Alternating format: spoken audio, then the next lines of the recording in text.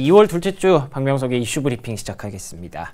자, 이번 주는요, 뭐 다들 아시다시피 월요일에 있었던 아주 기분 좋은 소식, 기생충이 어, 아카데미에서 오스카 사관왕에 올랐다는 소식에 힘입어서 제가 또 어, 기생충을 한 번 더 봤습니다. 중간에 어, 영화관에 가서 극장에 가서 어, 시간대가 딱 잘 맞아가지고 한 번 더 봤는데 역시나 그 감동이라든가 그리고 제가 못 봤던 그런 것들 워낙에 1년 전 작품이기 때문에 제가 다 잊고 있었던 그런 내용들을 다시 한번 되새기면서 어, 명대사들을 쭉 머리에 넣고 왔는데 그거를 좀 패러디를 해서 정리를 한번 해봤습니다. 기생충 코인에 한번 올라타 보기 위해서 여러분들 유, 유튜브 클릭 많이 해주시고요.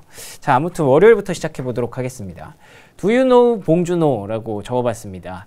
어 Do You Know 시리즈는 뭐 많죠. Do You Know 지성팍부터 시작을 했나요? 아니죠. 그 전부터 시작을 했겠죠. 최근에는 뭐 Do You Know 어, 흥민, 쏜, 뭐 Know BTS 뭐 등등 엄청나게 여러 가지로 갈래가 확대되고 있는데 자 Know 봉준호 준호봉이 아니라 봉준호인 거 여러분 아시나요? 이것도 이번 아카데미 시상식에서 시상식부터 조금 뭔가 달라진 듯한 그런 느낌이 있다고 하더라고요. 한국인들의 이름을 항상 저의 이름은 뭐 명석팍, 뭐 지성팍, 흥미손 이렇게 불렀는데 어 봉준호 감독은 봉, 봉준호라고 이름이 불려졌다고 합니다. 이뿐만 아니라 뭐 배우들이나 작가들 모두 뭐 누구 누구 누구 이렇게 성을 앞에 붙이는 우리나라식의 표현 방식을 써줬다고 하는데 이것도 뭐 개인적으로는 긍정적인 부분인 것 같아요. 우리나라는 전혀 준호봉이라고 아무도 안 부르는데 해외에서는 꼭 그렇게 바꿔서 해야 된다는 게 굳이 그럴 필요가 없잖아요. 네, 그래서 아무튼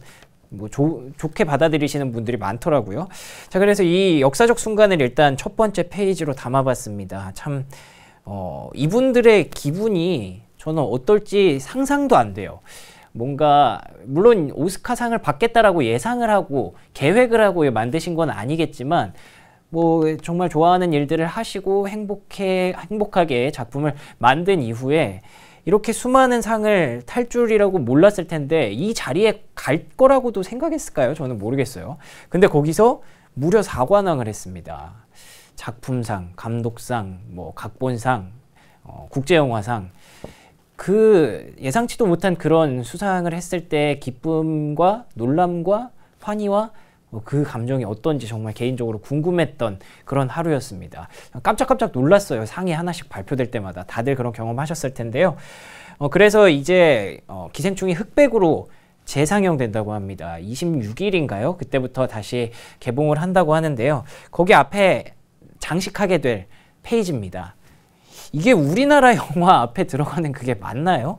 깐느, 골든글로브, BAFTA, 오스카. 오스카는 이 밑에 다 저게 수상 내역인데 수상 내역 수상이 너무 많아가지고 저렇게 네 줄로 이렇게 나눠서 했더라고요. Best Picture, Directing, International Feature Film, Original Screenplay.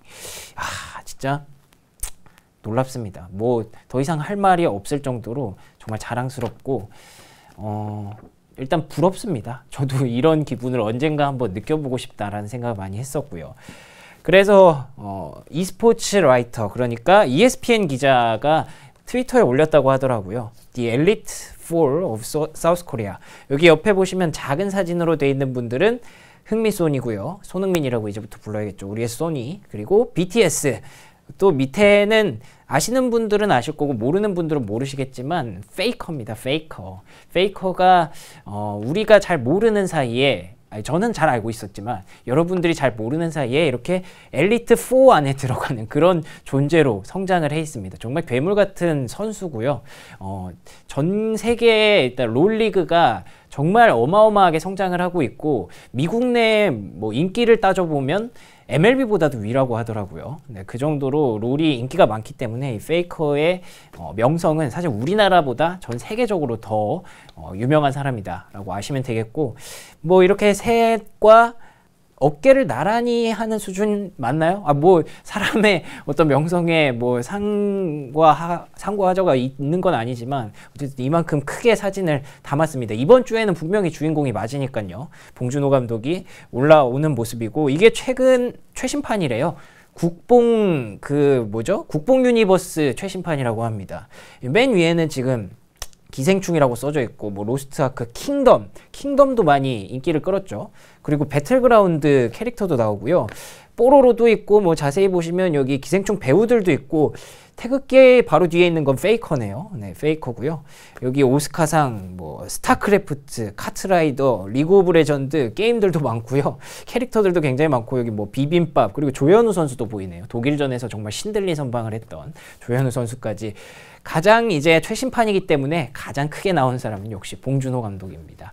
뭐 여러 말을 더 이상 뭐 할 말도 없는데 그래도 계속 말을 하고 싶게 만드는 그런 이슈였던 것 같아서 제가 좀 비중을 넣어봤고요. 그래서 국내 증시도 이 기생충에 뭔가 잠식을 당했던 잠식을 당하지만 뭐 기분이 그렇게 썩 나쁘지 않았던 그런 한 주였던 것 같습니다. 바른손해 주가 이거는 과열 종목입니다. 과열 종목이고 증거금 100% 종목이기 때문에 여러분들께 절대 이거 뭐 매수를 권유하는 건 절대 아닙니다만 이 주가의 흐름은 너무나도 놀라워서 캡처를 하지 않을 수가 없었습니다. 이 하나 둘 셋 넷 다섯 번 월화수목금 와 저는 모르겠어요. 이거는 물론 펀더멘털의 영역은 아니지만 그만큼 놀라운 성과를 만들어내기도 했지만 이 정도까지 올라갈 건가? 아직까지는 잘 모르겠습니다. 주의는 하셔야 될 것 같고요. CJ ENM 같은 경우에도 역시 최근에 흐름을 쭉 가져가다가 어제 좀 실적이 좀 안 좋았다고 합니다. 그래서 오늘 같은 경우에는 좀 조정을 받고 있는 구간인데 아무튼 CJ도 굉장히 언급이 많이 됐던 한 주였죠. 자 그리고 다음 종목은 농심입니다. 저는 이제 오히려 처음에는 농심 도대체 무슨 짜파구리가 뭐가 그렇게 뭐 얼마나 먹는다 거기 딱 한 번 나오거든요. 여러분들 보신 분들은 아시겠죠? 그 어, 조혜정 씨가 이제 맛있게 짜파구리를 한 그릇 비우는 모습이 나오는데 거기에 이제 채끝살을 넣어서 어, 그렇게 근데 요즘 보니까 다들 먹더라고요. 인스타 같은 데서 사람들이 굉장히 많이 먹고 그 올려서 그 찍어서 올리는 게 뭔가 지금 최근에 유행처럼 최근에 뭐 지코 아무 노래 그런 것처럼 되게 많이 하시더라고요. 근데 이 코, 이 지금 물 들어온 상황을 농심이 놓칠 리가 없죠. 짜파구리 강제 세계 진출, 강제 세계 진출 당했습니다. 아주 아주 기분 좋아할 것 같아요. 짜파게티랑 너구리에다가 그 기생충 포스터에 나와 있는 그 눈 가리는 그거를 해놓고 엄마 나 봉 잡았어라고 너구리가 굉장히 좋아하고 있네요. 너구리는 사실 매운맛 너구리를 내서 그걸로 좀 실적을 올려볼까 했다가 아니 이게 진짜 봉 잡았죠. 갑자기 짜파구리가 세계적으로 강제 진출 당하면서 봉 잡은 그런 상황이고요. 여기 내용을 읽어보면 되게 센스 있다고 느낀 게 오! 습까 먹자! 이렇게 했더라고요. 이 습까 먹는 거 맞자, 맞잖아요. 이렇게 너구리랑 짜파게티랑. 근데 오! 습까 먹자. 오스카 먹자. 오, 요거 좀 센스가 있었던 것 같아서, wow, 멋진, 멋진 그런, 네, rhyme, rhyme은 아니죠. 어, 그 머리를 치고 그게 있는데 아무튼 힙합 뭔가 멋있었습니다. 자, 그래서 이거 드시고 싶으신 분들은 여기다가 댓글 남기면은 추첨을 통해서 한우 채끝 짜파구리를 준대요. 한우도 주고 짜파게티랑 너구리도 준다고 하니까 혹시 궁금하신 분들은 농심 인스타 들어가 보시면 될 것 같고 아무튼 결론은요. 이만큼이나 그 기생충이 아주 이번 주 시장을 흔들었다라고 보시면 될 것 같습니다. 자, 그래서 화요일입니다. 2차 전지야, 너는 다 계획이 있구나. 이 대사는 뭐 다들 아시겠죠? 이제 계획에 대해서 가장 좋은 계획이 뭔지 아니? 무계획이란다. 뭐 계획에 대해서 굉장히 많이 언급이 되는 기생충인데 2차 전지에다가 한번 갖다 붙여봤습니다. 일단 LG화학 같은 경우에는 어, 계획 중에 하나로 이제 2차 전지를 분사해서 IPO하는 그런 계획을 어, 예전부터 갖고 있었던 것 같고 이번에 조금 더 가시화가 된 것 같습니다. 이에 힘입어서 어, 최근에 2차 전지주가 너무 급등한 것이 아니냐 그런 얘기들이 있었음에도 불구하고 LG화학의 상승세는 계속 이어졌고요. 다음 페이지는 이제 삼성 SDI와 에코프로 BM입니다. 이 두 회사가 합작을 해서 JV 조인트 벤처를 하나 설립한다고 하죠. 에코프로 EM이라는 어, 그런 회사가 하나 탄생하게 되는데 이에 힘입어서 사실 둘 다 좀 돋드는 그런 사업일 수 있는데 둘 다 기대감을 갖고 쭉 올라가고 있어요. 최근에 아침에 제가 자주 보이는 게 아침에는 좀 조정이 나오는 구간도 많거든요. 그래서 시가총액 상위 종목들을 보면 파란불 일색일 때도 있는데 항상 LG화학과 삼성 SDI 그리고 코스닥 넘겨보면 에코프로 BM 이렇게 세 종목은 항상 거의 빨간불을 켜는 그런 모습이 나타나고 있습니다. 이런 계획들 아주 어, 시장에서 박수를 받고 있는 그런 계획들이고요. 어, 역시나 테슬라 얘기를 또 안 할 수가 없는 게 테슬라가 지난주에 급등을 하고 나서 저는 좀 오, 이번 주는 조정을 받을 줄 알았어요. 그래서 조정이 나왔던 게 어, 지난주 금요일이었나요? 그랬던 것 같은데 근데 상하이 기가 팩토리가 다시 돌아간다는 얘기가 나온 이후로는 다시 한번 그 자리에서 어, 바닥을 다지는 그 듯한 그런 모습이 나오고 있고 상승을 추가 상승을 노리는 듯한 모습이 나오고 있어서 아, 참 테슬라의 이 상승세가 언제까지 이어질지 지켜보는 것도 굉장히 재밌는 부분일 것 같습니다. 자, 아무튼 2차 전지의 상승세 이번 주에도 그 여러 가지 계획들을 통해서 예, 만들어냈고요. 세 번째 수요일입니다. 5G를 깔겠습니다. 그것도 아주 많이요. 요거는 이제 거기 나오는 최우식 씨의 대사를 제가 좀 패러디 해본 건데 뭐 결론적으로 뭐 돈을 많이 벌겠습니다. 그것도 아주 많이요. 그래서 뭐그 뒤에는 너무 결말 부분이라서 네, 제가 스포는 하지 않겠습니다. 돈을 많이 벌려는 목적에 대해서. 아무튼 그래서 5G를 깔겠습니다라고 제가 해봤습니다. 수요일에는 5G 이슈가 굉장히 핫했죠. 티모바일과 스프린트, 미국 내 통신업계들 중에서 3위와 4위 업계가 이제 합병을 하게 됩니다. 이건 합병에 대한 얘기는 정말 오래전부터 나왔었고요. 그 모멘텀이 계속 갈 것이다, 갈 것이다, 갈 것이다 한 게 이제 2020년에 드디어 실제 현실화가 되는 겁니다. 이제 법원에서, 연방법원에서 이거에 대해서 좀 어, 안 된다 하지 말아 막아달라라는 가처분 신청에 대해서 기각을 결정을 했고 이걸로 인해서 보시면 티모바일과 스프린트의 주가가 또 급등을 했습니다. 저는 미국 뉴욕 증시에서 뭐 상한가 하한가가 없다고는 얘기는 들었지만 최근만큼 이렇게 급등하는 모습이 자주 나오는 거는 조금 뭔가 이상한 부분인 것 같기도 해요. 스프린트 같은 경우에는 80% 넘게 주가가 급등했잖아요. 하루 만에. 그리고 나서도 저는 주, 조정을 받을 줄 알았는데 계속 가고 있어요. 와, 진짜 이런 모습들이 이게 뭐 기분이 좋을 수도 있겠다라는 생각은 들면서도 약간 좀 불안정한 게 아닌가 이런 종목들만 이렇게 갑자기 쏠리고 쏠리고 쏠리고 하는 게 건강하지 않은 시장이라는 게 아닌가라는 생각도 듭니다. 어찌됐든 미국 증시는 뭐 이런 모멘텀들을 쭉 끌고 가면서 사상 최고치를 경신해내는 모습이고 이런 쪽에 가장 수혜를 보는 사람이 또 그분이라고 하죠. 손정희 회장. 손정희 회장이 열심히 그 수익들을 만들어내고 있는 구간인데 여기서도 어, 수혜를 많이 볼 것이라고 얘기를 듣고 있습니다. 자 그리고 국내 시장에서는 어떤 종목들이 조정 어, 주목을 받는지 당연히 5G 관련 장비주들인데 최근에 삼성전자가 그 통신 장비 어, 세계적으로 점유율을 조금씩 높여가고 있습니다. 이게 2019년 3분기 기준인데요. 삼성전자가 파이를 굉장히 많이 확대했어요. 원래 정말 작은 파이였거든요. 한 자릿수 정도 퍼센트 점유율을 유지하고 있었는데 화웨이가 좀 어, 이렇게 부진한 부진을 당한 네, 그런 틈을 타서 이제 삼성전자가 파이를 굉장히 많이 늘렸고 23%까지 끌어올리는 상황이고요. 그런 의미에서 삼성전자 쪽으로 또 납품을 하는 그런 종목들 뭐 KMW, FR텍, 이노와이어리스, 에이스테크, RFHIC 이런 종목들이 최근에 급등을 하고 있는 모습입니다.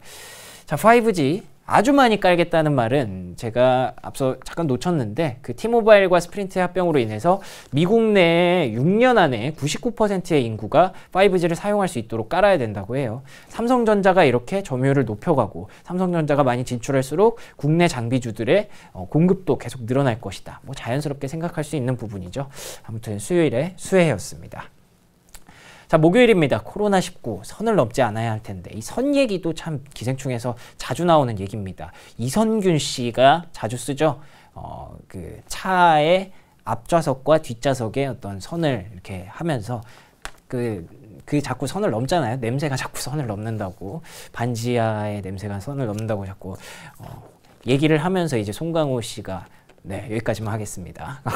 아무튼 이게 선을 넘으면 안 돼요. 왜냐하면 선을 넘으면 진짜 비극이 오거든요. 선을 넘은 결과가 그렇게 아, 참 이거 참 얘기하고 싶은데 뭐 1년 전 내용인데 뭐 얘기해도 되지 않나 모르겠네요.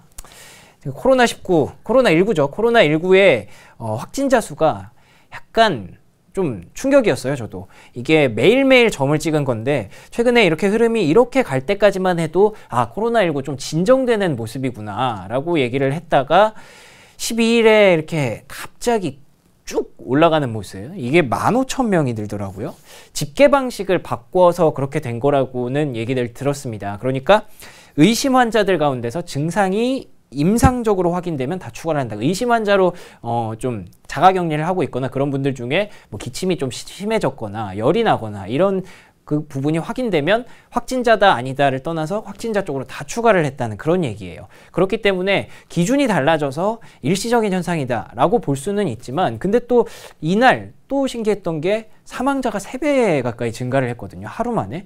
그럼 이거는 또 어떻게 설명을 해야 되는 건가? 사망자가 늘어난 거는 뭐 의심 환자 기준이랑 아무 상관이 없을 텐데. 그래서 저는 아직까지 이 중국의 어떤 수치, 그래프 이런 것들을 참 믿어도 되는 건지 의심이 많이 됩니다. 이거는 일단 제가 바이두에서 나온 거를 어, 국내 기, 그 언론사에서 발췌한 걸 제가 가져온 거고요.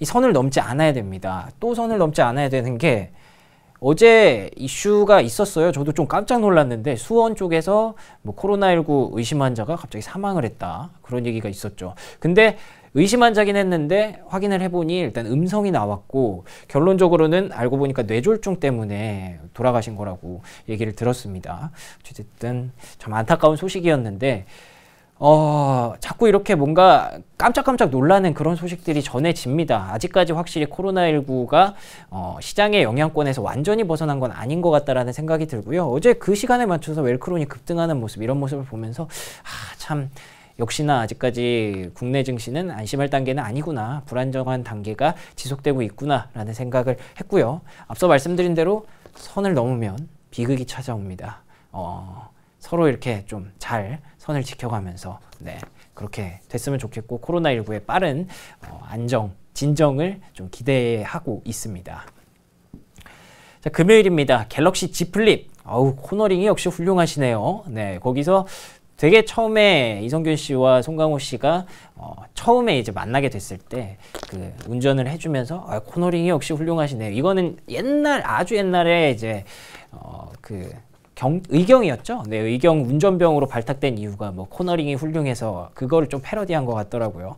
근데 거기서 그 송강호 씨의 발언이 좀 인상적이죠. 아, 저 택시도 했습니다. 옛날 택시 운전사 그거 영화 찍었잖아요. 택시로 그 광주로 왔다 갔다 하셨기 때문에 코너링이 훌륭할 수밖에 없죠. 네, 아무튼 갤럭시 Z 플립이 코너링이 훌륭하다, 훌륭한 애를 너무 좀 갖다 붙인 감은 없지 않아 있어요. 여기 코너링 요, 요 힌지 요거 갖다가 제가 붙인 건데 마지막 금요일이라서 고심 끝에 제가 이 제목을 정했습니다. 갤럭시 Z 플립이 앞서 저희 오프닝 때 김순영 앵커님께서 말씀해 주셨지만 유플러스 쪽에서는 1차 완판이라고 써 있습니다. 1차 완판 이게 뭐 한 3일 전 얘기가 아닙니다. 오늘 1차를 열었는데 오늘 1차가 완판이 됐어요. 제가 살까 말까 고민했는데 고민 할 필요도 없습니다. 아침에 저는 일을 하고 있었는데 이거 언제 완판이 된 언제 팔았는지 언제 완판이 됐는지도 모르는 사이에 이렇게 돼버려서 또 2차 예약 접수를 시작한다고 하네요. 어, 갤럭시 Z 플립 확실히 요즘 그 디자인에 대해서는 다들 좀 그 호평을 내리시더라고요. 저도 이제 그 어떤 톰, 톰, 어디죠? 예, 톰 거기. 아, 왜 이름이 자꾸 생각이 안 나죠? 거기랑 이제 합작한, 예, 톰 브라운, 톰 브라운. 톰 브라운과 합작한 그걸 봤는데, 그 뭐 300만원 상당의 그 박스. 돈은 비싸지만 어쨌든 정말 갖고 싶은 그런 생각이 들기는 했습니다. 자 그러면서 KH바텍과 MC넥스 같은 종목들이 상승세를 이어오고 있습니다. KH바텍은 최근 들어서 좀 박스권에 갇히고 MC넥스도 그런 모습을 보여주고 있다고 하지만 이 종목이 그 이 종목들이 그렇게 평가할 수만은 없는 게 이게 되게 장기거든요. 이게 일봉이기 때문에 지난해 7월, 8월부터의 그래프예요. 그때부터 이렇게 쭉 주가가 반등을 했고 지난해 7월, 8월 이후에 정말 부침이 많았죠. 국내 증시에 여러 가지 악재가 많이 겹쳤는데 그때도 거의 흔들리지 않았다라는 점이 저는 어, 보면서 되게 놀랐습니다. 그러면서 최근에 다시 한번 반등을 주고 있는 바닥을 바닥도 아닌 것 같아요. 조금 내려왔다가 다시 한번 반등을 주고 있는 그런 기업, 그런 종목들인데 확실히 어, 최근에 스마트폰 사업이 좀 이제 성장 성장 산업은 아니지 않냐 그런 얘기를 많이 들었었는데 이번 계기로 갤럭시 S20라든가 지플립이 한 번 더 바람을 일으키는 그런 모습이 나오고 있습니다. 코너링이 훌륭한 갤럭시 지플립 언제까지 이렇게 팔릴 수 있을지 기대가 되고요. 아무튼 제가 이번 주에는 기생충을 한 번 더 보면서 너무 심취해서 이렇게 제목들을 적고 그 얘기를 많이 해봤는데 재밌게 보셨는지 모르겠고요. 다음 주에도 어, 또 재밌는 이슈들 들고 찾아오도록 하겠습니다. 고맙습니다.